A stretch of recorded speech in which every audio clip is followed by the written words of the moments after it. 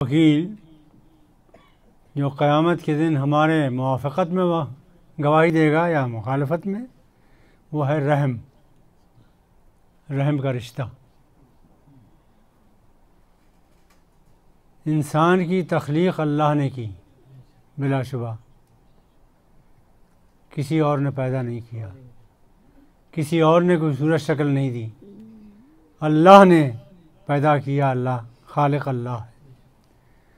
लेकिन खल्क का ज़रिया माँ का रहम है। इसलिए अल्लाह के बाद सबसे बड़ा हक माँ का है।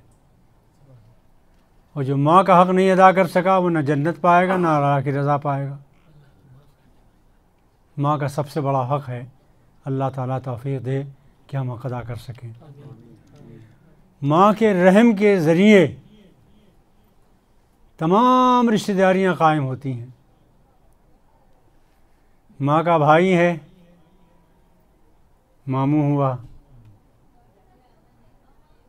और जितनी भी रिश्तेदारियाँ हैं, नानी है, दादी है, खालू है, खाला है, सब रहम के ज़रिए से पैदा हो पैदा होते हैं, सब रिश्ते। अल्लाह ताला तौफीक दे कि इन रहम के रिश्तों को हम निभा सकें। नबी सल्लल्लाहु अलैहि वसल्लम ने ये फरमाया है कि आखिरी दौर में, जब ज़माने का आखिरी दौर होगा, दुनिया का आखिरी दौर होगा तो लोग बाप को भूल जाएँगे, दोस्त को याद रखेंगे। रिश्तेदारियों को के ताल्लुक़ात को ख़त्म हो जाएँगे ये, इसको लोग भूल जाएँगे, दोस्तियों को कायम रखने की कोशिश करेंगे।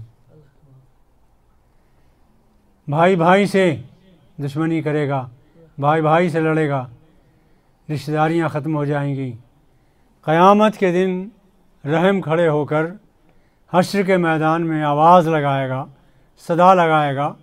अला मन वसलनी वसलाल्लाह वमन क़तानी क़ताउल्लाह।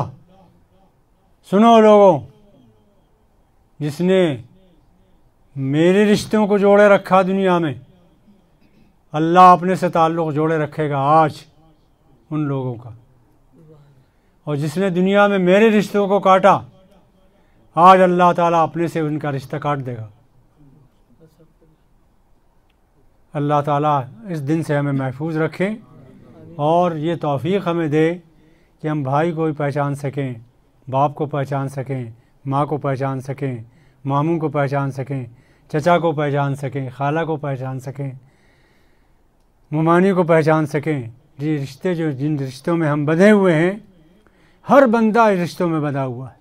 कोई बंदा ऐसा नहीं है जो रिश्तों में बंधा हुआ ना हो, जो इन रिश्तों को ज़िंदा रखेगा, अल्लाह ताला क़यामत के दिन उससे अपना ताल्लुक़ जोड़े रखेगा और जिन रिश्तों को इंसान भूल जाएगा, जो भी भूल जाएगा, अल्लाह ताला भी उससे रिश्ता काट लेगा।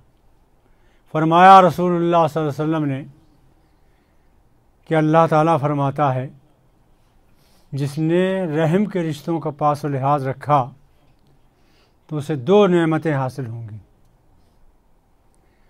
रिस्क में बरकत होगी। थोड़ा भी कमाएगा, बरकत होगी। और अल्लाह की रहमतें उस पर नाजिल होंगी। और जो रहम के रिश्तों को काटेगा, वो दुनिया से कट जाएगा और अल्लाह भी उससे रिश्ता अपना काट लेगा। इसलिए ये तीसरा जो वकील है इसको भी राज़ी रखने की कोशिश करें कि हशर के मैदान में जब ये आवाज़ लगाए तो हमारे हक़ में लगाए, हमारे ख़िलाफ़ न लगाए। कितना मुख्तसर कर दिया आपके